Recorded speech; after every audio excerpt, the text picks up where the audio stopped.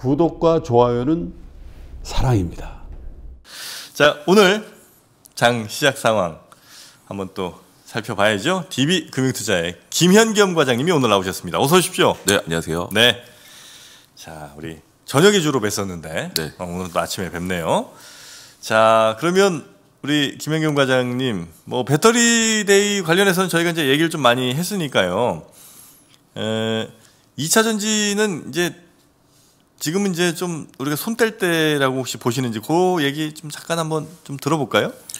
뭐 사실 이번 이제 테슬라 데이 뭐 기대가 굉장히 많았는데 네. 뭐 오늘 뭐 미국 시장에서 테슬라가 10% 하락을 했잖아요. 네네. 시간외에서도 좀 추가적인 하락이 나오고 있습니다. 음. 아 근데 이제 가격을 보시면 사실 아, 지금 굉장히 많이 올랐잖아요. 음. 네, 뭐 그래서 뭐 그 배터리 데이에서 정말 뭐 엄청난 얘기가 우리가 기존에 예상하지 않았던 엄청난 얘기가 나오지 않았으면 네. 어차피 하락했을 거라고 생각이 되고요. 뭐 그런 관점에서 일단 테슬라는 중요한 이슈 우리가 너무 배터리 쪽에 이야기를 하고 있지만 실질적으로 테슬라에서 중요하게 생각한 게 두 가지였거든요. 네. 하나는 이제 한 달 뒤에 이제 시제품이지만 어, 풀 아. 자율주행 시스템 차를 이제 공개하겠다라고 네. 이제 얘기한 게 하나고요. 네. 또 하나는 이제 원가 절감 관련돼서 이제 이야기를 한 것이죠. 음. 그러니까 원가 절감된 이야기를 하는 이유는 이제 2만 5천 달러짜리의 이제 예, 전기차를 음. 우리가 공급하기 위해서 네. 음. 원가 절감이 필수적이기 때문에 거기에 대한 세부적인 이제 이야기를 한 거고요. 아 그렇지만 실제적으로 뭐 테슬라에서 이야기한 것들이 네. 지금 그럼 뭐 LG화학이나 음. 뭐 글로벌 이제 1차 지금 2차 전지를 만들고 있는 이런 회사들과 그럼 궤가 정말 다른 거냐라고 네. 봤을 때는 그렇지 않다라는 거죠. 음. 그러니까 지금 테슬라 같은 경우는 이제 예, 코발트를 이제 안 쓰겠다. 네네네. 아, 코발트를 안 쓰는 이유는 이제 코발트 원료가 이제 뭐 리튬이나 이런 거에 비해서 훨씬 비싸고 그리고 또 환경적인 이슈도 있고 또 콩고라는 나라에서 음. 아. 집중적으로 나오기 때문에 아동 착취입니다. 네, 그런 부분들이 이제 여러 가지 걸리는 부분들이 있기 때문에 네. 코발트를 안 쓰겠다고 하는 건데 네. 사실 LG 화학도 지금 리튬 황이라고 해서 코발트를 안 쓰는 배터리를 지금 개발을 해 놨거든요. 네. 그러니까 뭐 사실 이 이 배터리 특히 양극재 쪽에 음. 배, 배터리 부분들은 사실 지금 뭐 NCM, 뭐 NCA, 뭐 NCMA 등등 이제 이 알루미늄 이 알루미늄 최근에는 이제 알루 A라는 게 이제 알루미늄이죠. 알루미늄까지 들어가는 아, 그런 다양한 소재를 이용해서 원가 절감을 하기 위해서 다양하게 노력을 하고 있거든요. NCA면 니켈, 카드뮴, 알루미늄이에요? 그렇죠. 아, 네. NCA. 그러니까 M M이 이제 원래 NCM 지금 주력이 이제 NCM이잖아요. M이 망간. M은 망간이죠. 네. 네. 그래서 지금 LNF가 이번에 개발했다고 하는 게 네. NCMA죠. N- 네 가지가 섞여 아, 있는 건데 네네네. 거기에서 이제 80과 90이 있습니다. 그게 뭐냐면 니켈을 80%, 아, 니켈을 90% 들어간 것. 그러니까 음. 하이니켈. 네, NCMA인데 니켈이 90% 들어갔다는 얘기. 나머지 세 개 소재는 10%밖에 차지하지 않, 않는다는 거잖아요. 네. 음. 그러니까 그만큼 이제 니켈이 중요하다는 거고 그것은 이번 테슬라에서도 나왔던 얘기죠. 음. 니켈이 중요하다.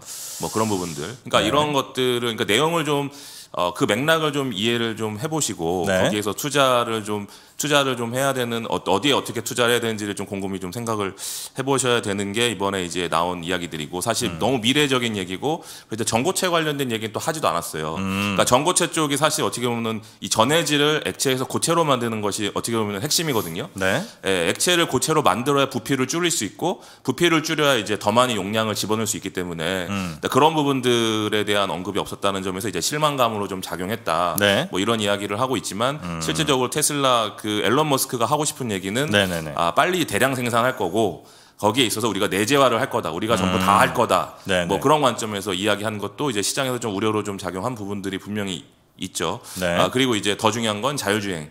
우리가 이제 어떤 비교해서 앞서갈 수 있는 부분이 어떻게 보면은 전기차 실질적으로 이런 뭐 원료나 이런 거보다는 자율주행이잖아요. 음. 네네. 근데 이 자율주행 부분에 대한 우위 이런 부분들을 이제 더 강조를 했던 그런 이야기이기 때문에 음. 진짜 한 달 뒤에 나올까요, 이 차가? 뭐 한 달이라고 했는데 거짓말을 하진 않, 않지 않을까요? 한달 만에 뽀록날 거짓말은 아니겠죠? 네. 그래서 어쨌든 완전 지금 차가 어떻게 나오지? 네, 이 자율주행이라는 부분이 사실 2차 전지 이번에 갈 때 맨 처음에 전기차 이야기 나왔을 때는 네. 자율주행 이슈도 굉장히 크게 우리 시장에도 작용을 했었거든요.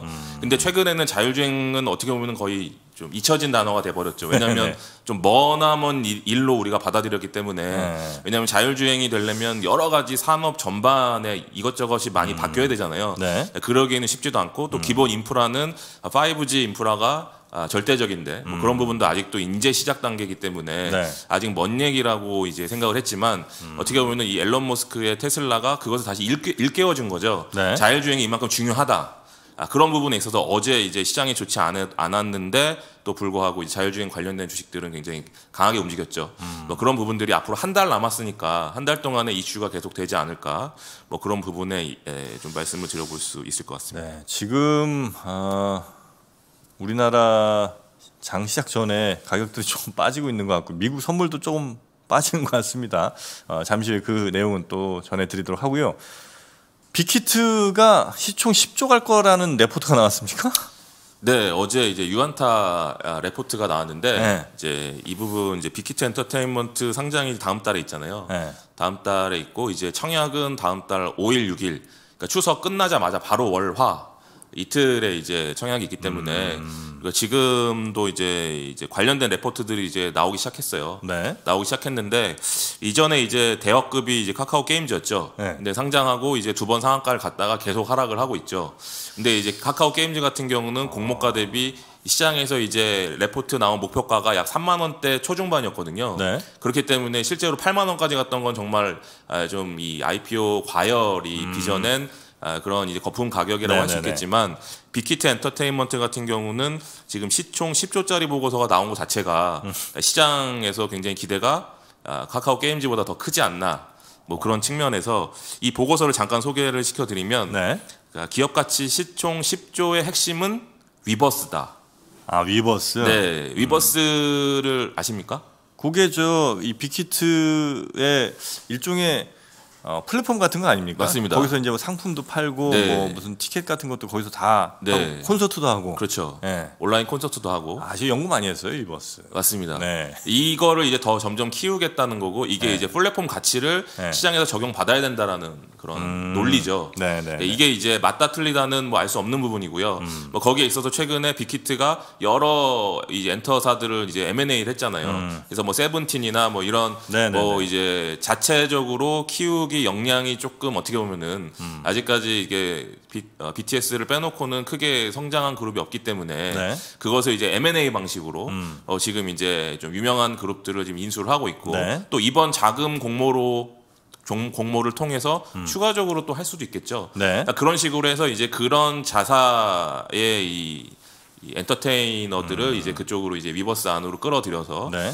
지금은 이제 자사주 위, 자사 위주지만 이제 나중에는 어, 이제 자사가 아닌 아, 이제 다른 유명한 엔터테이너도 이쪽으로 끌어들이려고 아 하는 위버스라는 플랫폼 안에 네.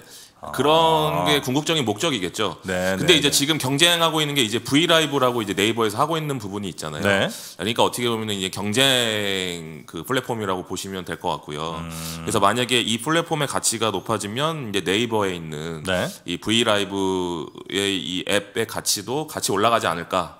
그러면서 음. 네이버 같은 경우는 지금 아까 제가 자율주행에서 얘기를 안 했지만 네. 실질적으로 자율주행에서 상장 예, 어저께 이제 크게 상승한 종목들은 뭐 내비게이션을 중심으로 한 음. 아, 이제 이제 계속 이제 업그레이드를 하고 있는 이런 주식들이 일단 처음에 각광을 받았는데 네. 실제적으로 우리나라에서 자율주행을 하는 또 대표 주자 중에 한 기업이 네이버잖아요. 네. 네, 네이버가 이제 자회사 네이버 랩스라는 회사를 통해서 아, 여러 가지 지금 자율주행에 관련된 테스트를 아, 하고 있죠. 네, 지금 하고 있거든요. 네. 아, 그래서 이제 아마 검색만 네이버 랩스 자율주행 이렇게 검색어에 한번 검색만 해보시면 음. 지금 막 성남시와 협업해서 뭘 하고 있고 또뭘 하고 있고 이런 것들이 계속 나오거든요. 네. 아, 그런 것들을 살펴보면 이 네이버의 가치가 어떻게 보면 우리가 새삼 더 크게 느껴질 수 있겠죠. 음. 네네. 지금까지는 전자상거래 언택트 대장으로만 우리가 생각을 했고 뭐뭐 최근에 각광을 받았던 게 이제 뭐 아무래도 뭐 만화, 네. 웹툰 네. 음. 뭐 이런 쪽이니까 이런 쪽만 좀 관심이 있었지만 실제로 네이버는 프랑스에다가 지금 연구 개발하는 그 연구소를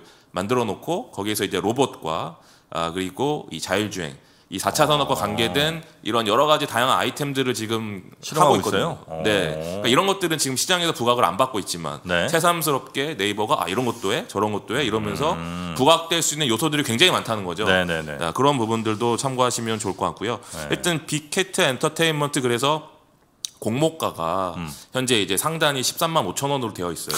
그러니까 아직 공모가가 확정이 안 돼 있거든요. 지금 이제 그 물어보고 있는 중인 거죠? 공모 밴드만 설정해 놓고 네. 음. 그러니까 지금은 증권 신고서만 나온 상태고요. 이 공모 확정은 다음 주 월요일 날 이제 기관 투자자들 네. 음. 대상으로 공모 확정이 되고 여러분 이 공모가는 당연히 13만 5천 원이 상단이 될 가능성이 높잖아요. 음. 그러면 이 상단이 됐을 때의 기준으로 내년 예상 영업이익 대비 컨센서스가 약 PER 28.5배로 이제 책정이 됐다라고 이야기를 하고 있고요. 13만 5, 천 원에? 네, 13만 5천 원으로 만약에 설정이 되면 이건 내년, 그러니까 올해 말고 내년 네. 예상 이익의 PER 기준으로 28.5배다. 생각보다 그렇게 많이 높지 않네요? 네, 그래서 이게 이제 이 미디어 업종 중에 2017년 11월에 이제 대학급 상장했던 게 이제 스튜디오 드래곤 네네네. 이라는 회사가 아, 공모가 3만 5천 원에 에, 그 다음 연도 PER 기준 21.4배에서 상장을 했거든요. 음. 아, 그래서 이제 그때 대비해서 지금은 사실 거래대금도 두 배 이상 증가했고 네네네네. 음. 유동성이 훨씬 훨씬 풍부하기 때문에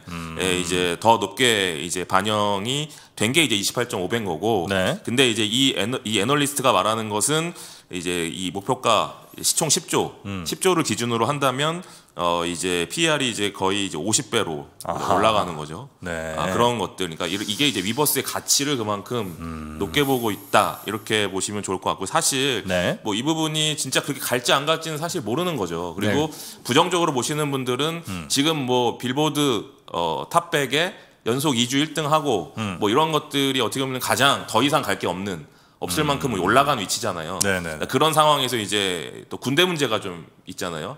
BTS는. 아, 그렇죠. 네, 군대 문제가 있기 때문에 네. 이제 완전체로 활동할 날이 얼마 안, 나- 안 남았다라는 네. 관점에서 지금보다 더 커질 수 있겠냐라는 이제 부정적으로 보시는 분들도 있으시거든요. 음. 뭐 네. 음. 그것도 사실 맞는 말이거든요.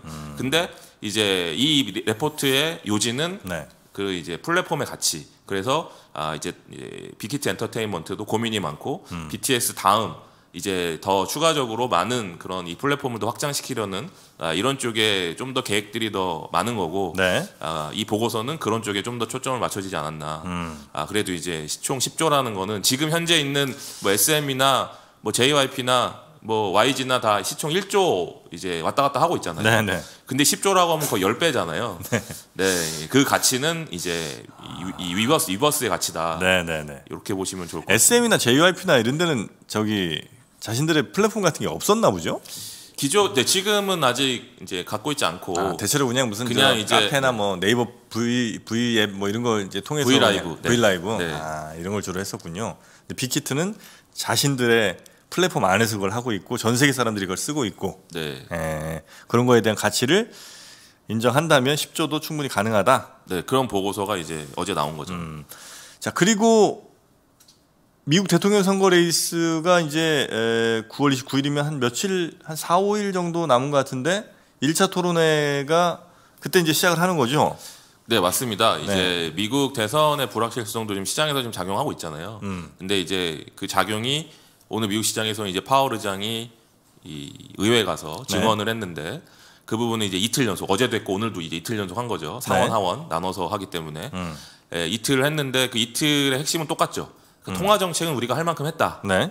재정 정책이 필요할 때다. 음. 근데 그 재정 정책은 내가 할 수 있는 게 아니고 네. 이제 정부가 이제 이 정치권에서 해야 되는 문제이기 때문에 어떻게 보면은 약간 좀 나쁘게 얘기하면 좀 떠넘기듯이 그런 느낌이 나고 음. 아 이제 정말 이제 그게 맞기 때문에 그럴 수도 있고요. 음. 그래서 이제 근데 중요한 건 지금 이 정치권이 지금 뭐 공화당과 민주당이 이것을 해결할 수 있는 상황이 점점 아니게 진행이 되고 있는 거잖아요. 네. 왜냐하면 이제 대선이 있고 음. 또 하나는 이제 연방 대법관 중 한 분이 돌아가셨는데 아. 그 이제 그 새로 뽑아야 되는데 이제 긴스버그. 네, 그 부분에 있어서도 지금 굉장히 서로 치열하게 싸우고 있잖아요. 음. 아, 그렇기 때문에 거기에 대한 불확실성이 시장에 작용을 하고 있는 거고 음. 그래서 유동성이 추가적으로 공급되기가 당분간 쉽지 않겠구나라는 음. 관점에서 기술주가 이제 폭락을 했다 이런 얘기도 나오고 있는 거고요. 네. 아, 그리고 뭐 은행권도 좀 이슈들이 있죠 지금 음. 뭐 부정 여러 가지의 예, 부정한 그런 돈 거래 포착 음. 뭐 이런 부분도 지금 은행주에 좀 안 좋게 영향을 주고 있고요. 네. 이런 것들이 맞물리면서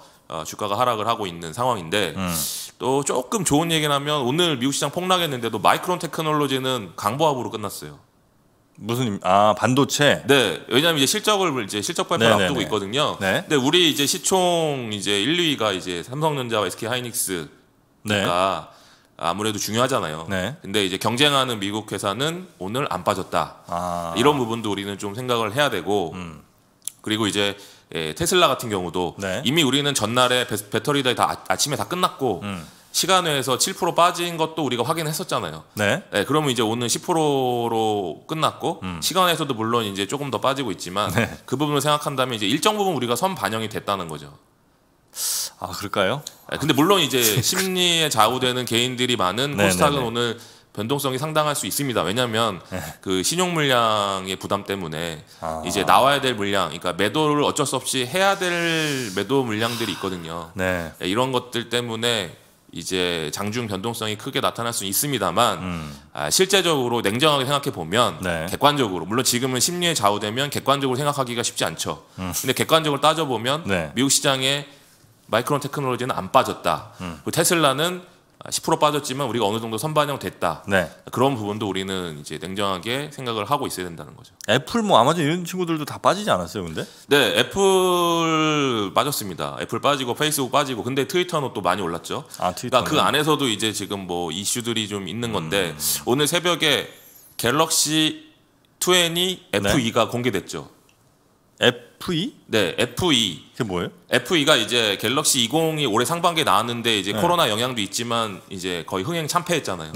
네. 그래서 어 이제 하반기에 노트도 얼마 전에 나왔지만 음. 오늘 새벽에 언팩 행사가 있었습니다. 갤럭시 S20 FE. 네. 그러니까 이제 약간 좀 가격이 이 정가가 우리나라 기준으로 89만 9천 원이더라고요. 아. 그러니까 이제 갤럭시 20은 100만 원이 넘었죠. 네. 어, 100, 뭐 100만 원, 한 20만 원, 30만 원 정도 됐었잖아요.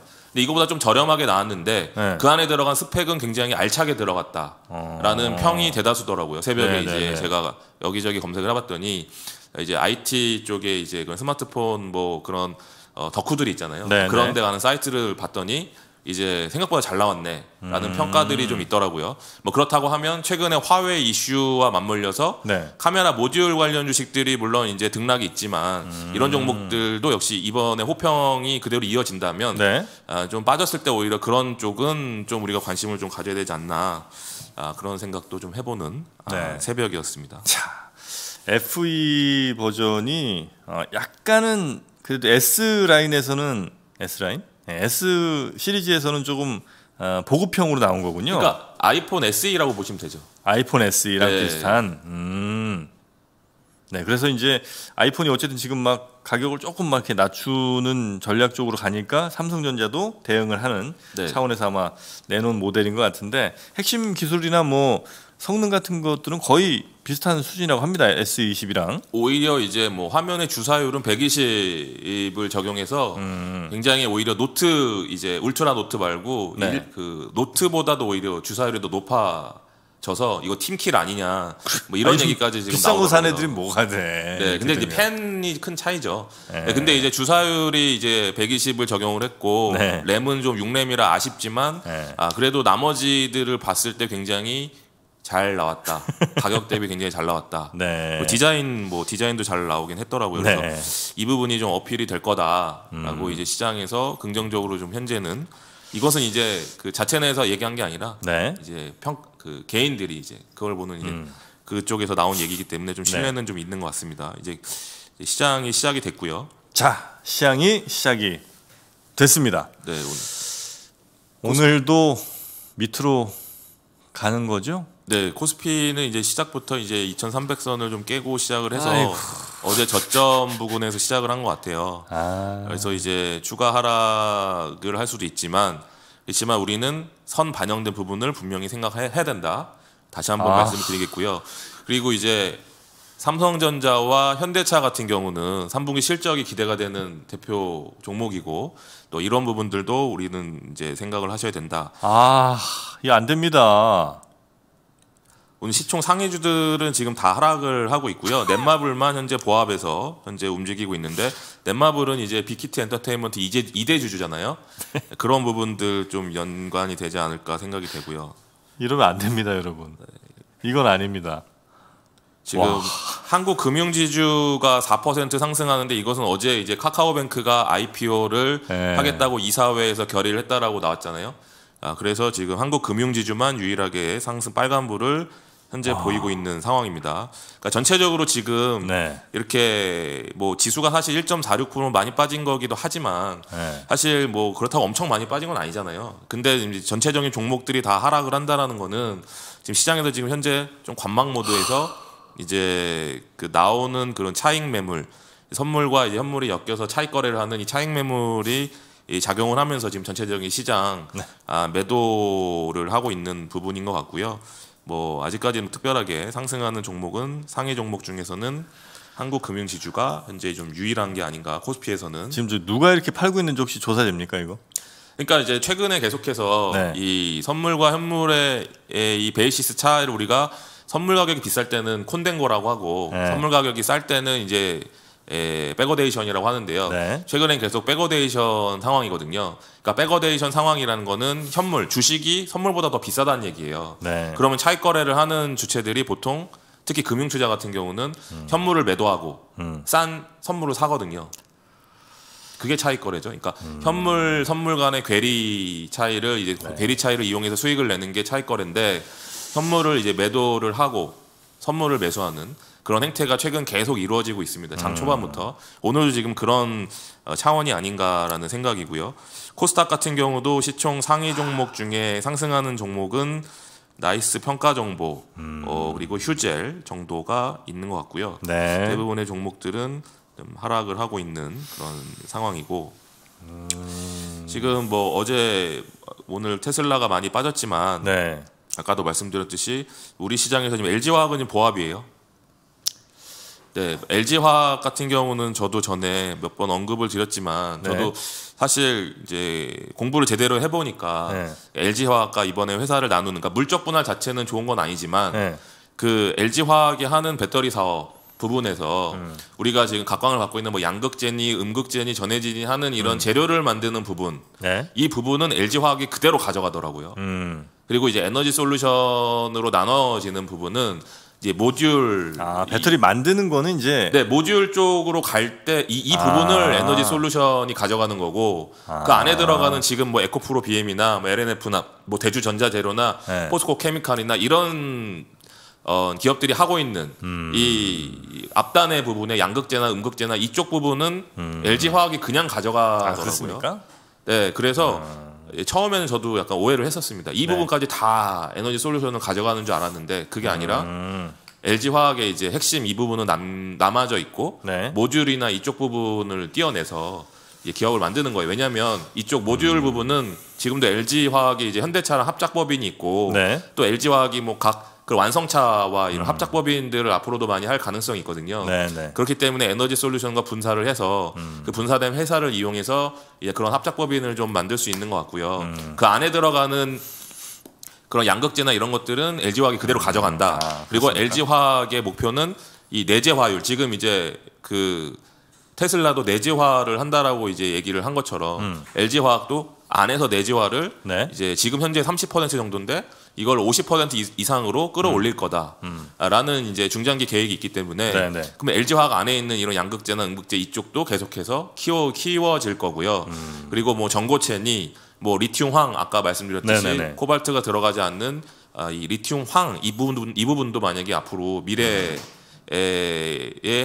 또 하나의 기술로 발전을 한다면 다 LG 화학이 하는 거고 네. 그래서 LG 화학의 가치가 이제 배터리는 없어지는 게 아니라는 거를 어, 이제 어, 아셔야 될 것 같고요. 음. 네. 그런 부분에 있어서 어, 저도 LG 화학이 만약에 껍데기만 남으면 사실 음. 화학 밸류를 받아야 된다 다시 이렇게 생각을 했는데 그건 아닌 것 같다.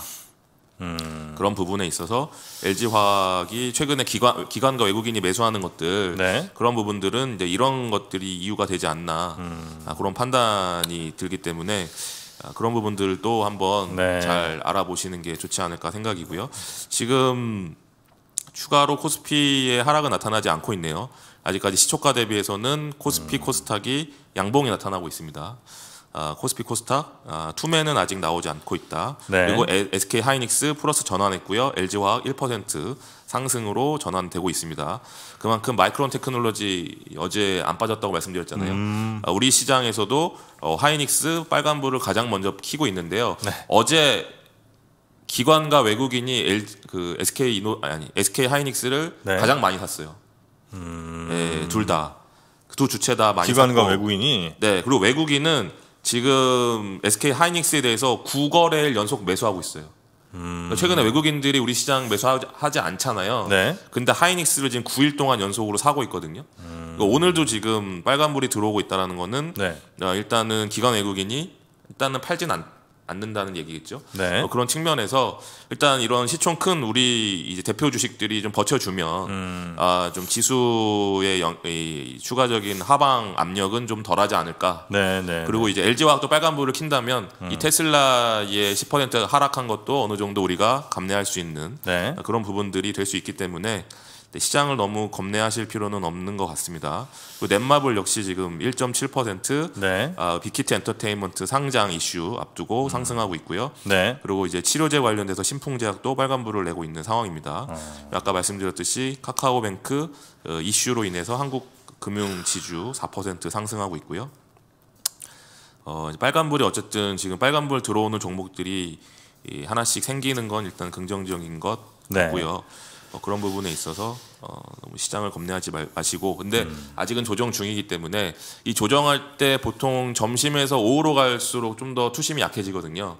아, 그래요? 아무래도 이제 나와야 될 물량에 대한 리스크가 있기 때문에 음. 일단 그런 부분들은 일단 좀 생각을 하셔야 될 점심시간 이후에 네, 점심시간 이후에 가 그러니까 장이 약할 때는 네. 보통 전강 후약이죠. 그러니까 장이 강할 때는 전약 후강이죠. 네. 근데 장이 약할 때는 전강 후약이죠. 아. 네, 근데 아직까지 이제 조정 분위기이기 때문에 네. 전강 후약 가능성은 있지만 아, 그래도 대표 종목들 그리고 그런 부분들이 버텨내고 있다면 음. 너무 이렇게 시장에 대해서 어, 우려보다는 어, 지금은 이제 포트폴리오 재조정하는 시기로 저는 삼아야 된다고 생각하거든요. 기존에는 이제 성장주에 대한 비중이 네네네. 음. 크셨다면 그 부분을 조금 이제 줄이시고 네. 이게 실적 3분기 음. 실적에 좀 포커스를 좀 맞추시면서 네. 3분기 실적이 좋은 종목 대표 종목이 삼성전자잖아요. 네, 네, 네. 삼성전자 가이던스가 9조에서 11조까지 올라왔기 때문에 네. 이 삼성전자를 위시한 그런 종목들, 뭐 IT 네. 종목들이나 뭐 장비 종목들 나 이런 쪽에서 실적 좋은 종목들을 좀 관심을 가져야 가지셔야 될 것 같고요. 네. 자동차 같은 경우도 이제 현대차, 기아차 같은 경우는 어, 수익성이 최근에 신차 사이클로 들어가면서 좋기 때문에 네. 뭐 그쪽은 사실 전기차, 수소차랑도 연결되는 부분이 있기 때문에 예, 이, 이 부분도 너무 이렇게 예, 음. 걱정 많이 할 필요 없다? 오히려 좀 핵심 주식, 그러니까 장 조정 받을 때는 전부 빠지잖아요. 네. 그럼 이럴 때 오히려 이제 그 섹터의 대표 종목으로 음. 어, 좀 포트폴리오를 바꾸실 조정하는. 수 있는 좋은 기회로 좀 활용을 하셔야 되지 않을까 말씀을 드리겠습니다. 알겠습니다.